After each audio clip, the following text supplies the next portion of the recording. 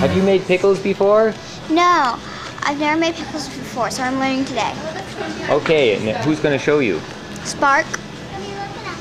No matter what you're canning, you always want to use the freshest possible ingredients, whether you get them from your garden. Come on, Serena. Didn't open this. The best ones are hidden. They are. Or get them at a local farmer's market.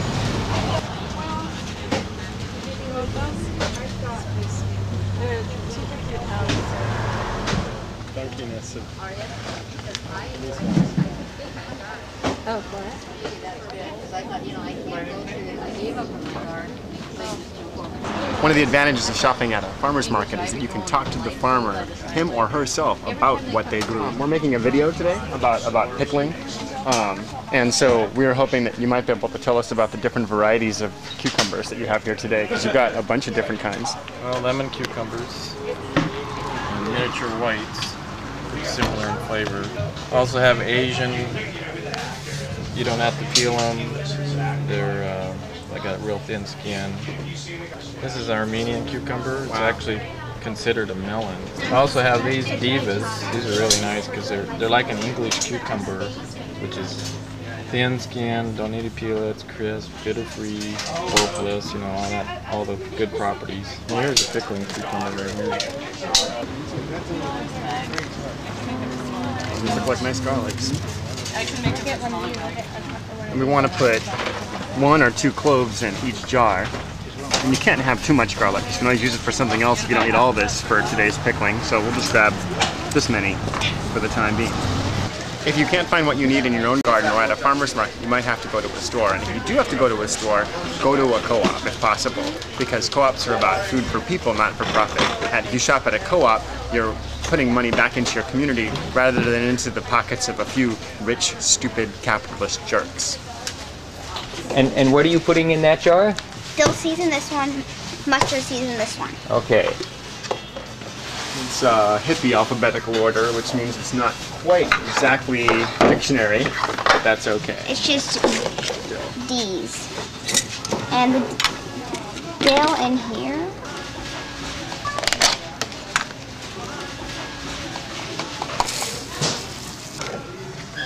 Now I have a question for you. Yeah, Are all the ingredients going in these pickles organic? I think so. This is the um,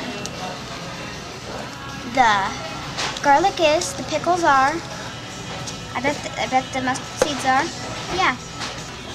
All the ingredients might not be certified organic, because you see the federal government got its head into organic in the past couple of years. Now they have certified organic, meaning that if you're a farmer, you have to pay money to get inspected and get your certification. So some farmers have chosen not to certify because they don't want to spend the money. Other farmers simply don't trust the government, which is a pretty wise point of view to have. Where's the mustard seed? Where's the mustard seed? Where is the mustard? Here it is. What two kinds of uh, mustard seeds are there here?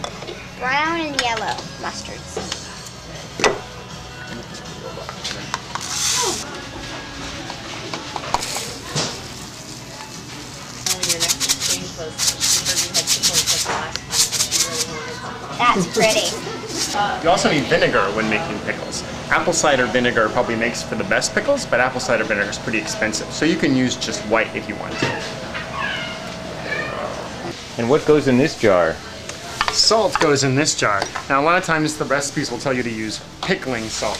All I mean by that is salt that's not iodized. You can also get away with using sea salt, which is easy to get in bulk and very cheap.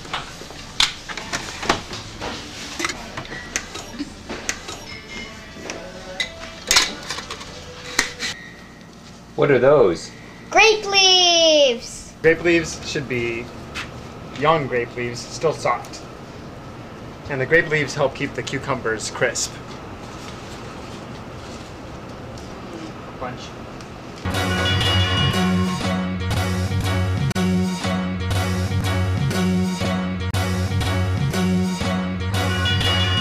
If you look back over the course of human history, uh, first people were hunters and, and gatherers. They didn't farm or do agriculture at all. About the time when people did start to farm, that's when the notion of property came into human culture as well. Uh, this is why the primitivists often say we need to go back even before agriculture, because a lot of problems obviously came with, with property. Once you had property, you had wealth. Once you had wealth, you had concentrated power. Of course, once you had concentrated power, then you had tyranny in many forms, wars, etc., like that. So food has been political and has been affecting the environment from the very beginning. Well, we have agriculture now, and it would be very hard to step back out of it. There's not enough resources for us to go all up, live in the woods and have berries and, and you know, eat squirrels or whatever we would do out there. And so we do need to grow our own food right now to survive. When you go to a conventional supermarket, of course, most of the food's going to be used is going to have pesticides or herbicides that was involved with growing it. Now, that's not good for you and your health, obviously, to be ingesting these chemicals. It's also terrible for the environment. A lot of groundwater around the country, a lot of rivers are being polluted by all the runoff from all of these chemicals going into the into the water, making it less drinkable for us. So what we're finding here is that the best way to eat is locally, organically, and in season, if possible. Local food uses less resources. Organic food is better for you and is less harmful to the earth. What was the third one? in season. In season means that you only eat the food when it's in season. Tomatoes are a great example. Tomatoes, no matter what kind of technology they use or genetically modified whatever that they put into a tomato, you can't get a good tomato except at the end of summer when it's in season and if it's from close by. If it's been shipped, it's not going to taste good. If it's you know January, it's not going to taste good. You basically have to have it local and, and it's also better for you than obviously you know too. So canning, why canning then? Well, here in Oregon, as I said, we can grow a lot of food all year round, but some we can't. Fruit, for example, we can't. Cherries, plums, apples, uh, figs, even nectarines and peaches grow really well in this part of the country. Grapes, but they're not going to be in season in January. Well, it's good to have fruit still because of the vitamins and stuff like that, and so that's why it's good to can and to preserve. Um, then, in the wintertime, when you want to have some fruit, you're not buying fruit that was shipped from very far away. You're not buying fruit that was then put into a can by someone else in some factory and who knows where it came from. You instead, you know where it came from. You know the farmer maybe that you got it from, maybe you know the tree on your street that you went and picked it up off the sidewalk from.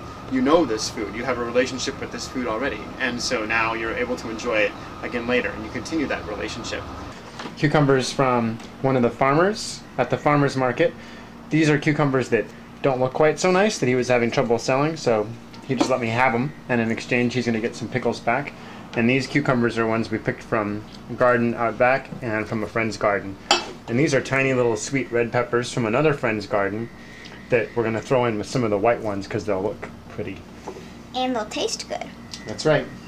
So the way that we'll be making pickles today, we process them in a boiling water canner, which is basically just a big pot that we fill up with water. And we put a rack in the bottom as well. Here's one kind of rack that most people have. As you can see, there's places there to put the jars. This is another kind of rack that you can use. Or if you don't have any kind of rack at all or have a big pot, you can just put flat silverware in the bottom. Basically, you just want to make sure the jars are not touching the bottom of the canner because that'll be too close to the heat and a lot of times they'll break then.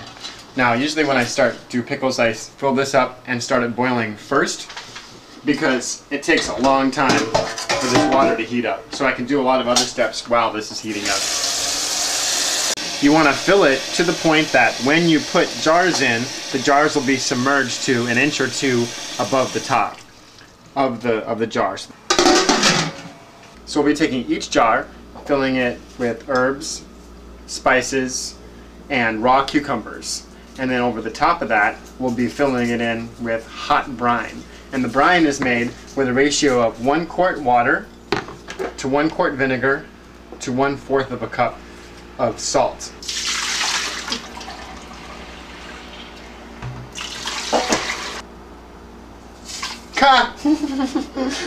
so we'll put a little extra water and vinegar in to make up for that.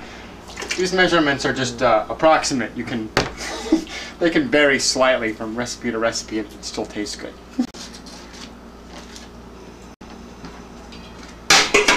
Finding jars to can with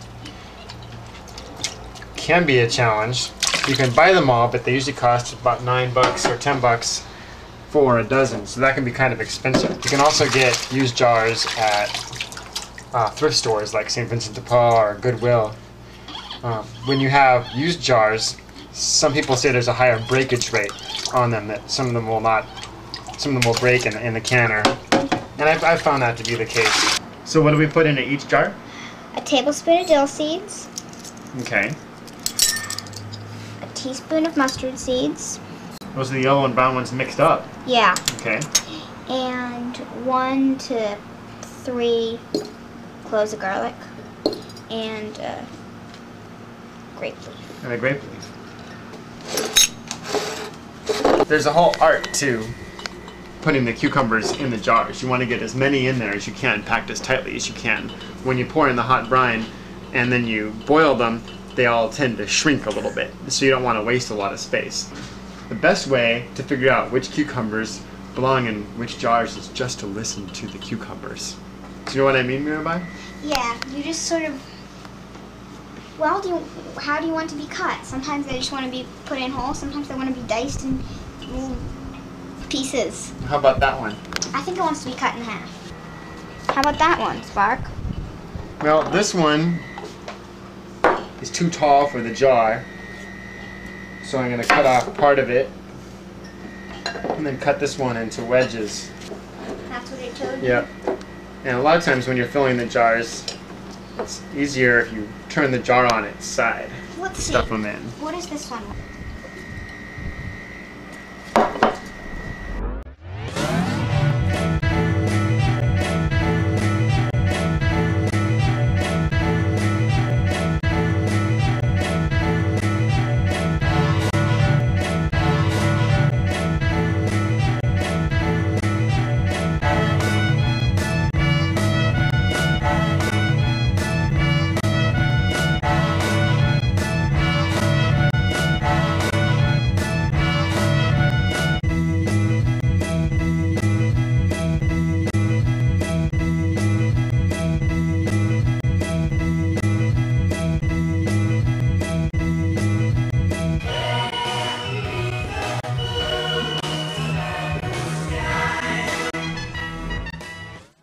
The brine, which as you recall is water, vinegar, and salt, you need to bring to a rolling boil.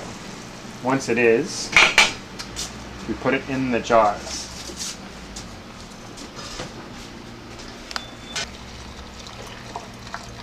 Yeah, thank you. How high do you fill it? You fill it to within a half an inch of the top.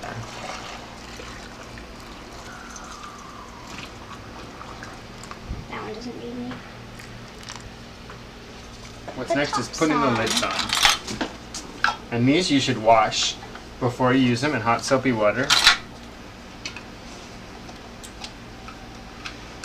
The rings you can use over and over again. These only last one time. And how tight do you tighten those? They say to do it finger tight. So as tight as you can do it with your hand, basically. And this thing is maybe the most essential canning tool there is. It's the can picker upper and putter in, also known as tongs. Because these are hot jars and we're about to put them in hot liquid.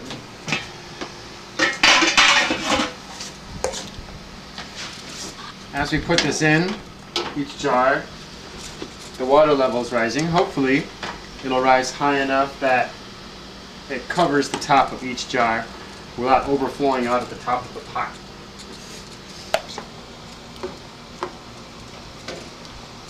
Once this comes to a rolling boil, then we need to process it for 15 minutes at a rolling boil. So, it took a few minutes to get up there, but now it's at a rolling boil. This is where we want to process it for 15 minutes at this high. By doing all of this, we are able to become more independent of this corporate system of control that exists around food in the United States. All of this, we can disconnect ourselves from this more if we grow and preserve our own food. So that's why we're making this video is to encourage people to preserve more of their food. Um, pickles might not be the most nutritious thing that you can um, that you can can, but there's just something about a pickle. When you bite into that pickle, the sourness, the spiciness, the crispness of it that reminds you of the day maybe that you picked that cucumber or that you picked, you grew it, you got it from a, a local farmer. There's something magical about pickles. When cucumbers are in season to pickle, it's also the hottest time of year. It can get very hot in your kitchen. Oh, there's the timer.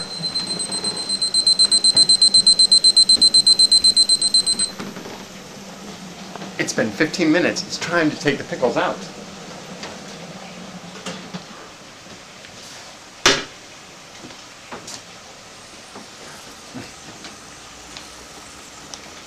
Not everyone does this, but I like to turn the jars upside down when I first take them out. That helps them to seal.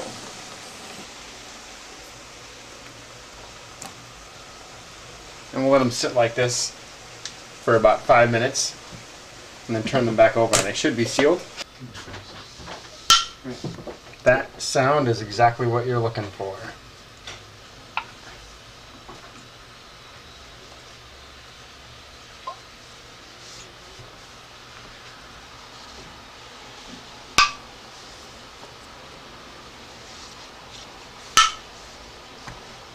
That's sound is the lid popping down. What that means is that a vacuum has been created inside. So these are now sealed. You can also tell just by pushing down on them, and if they don't go up and down, then they're sealed.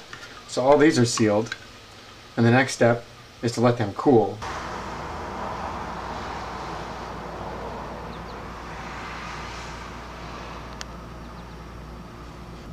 Right, so we're ready for our final step, which is that first you wait until the next day for the jar to completely cool. Take off the ring, and then we rinse it off. Cold water is fine for this. During the processing, some of the brine will leak out, and so there'll be salt, kind of a schmutz on the outside of all the jars. And you want them to be nice and clean before you put them away. You also don't want to store them with the rings on them because they can corrode into place, which makes it harder to get it open and which can mess up the seal. We've got one more step left, and this is an important one. We need to label the jar with what's in it and when we did it.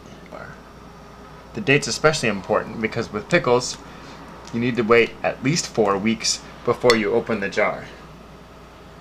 If you wait less than that and open it up, they'll taste too salty, they won't be ready yet. It takes a while for them for them to pickle, for the pickling process to happen.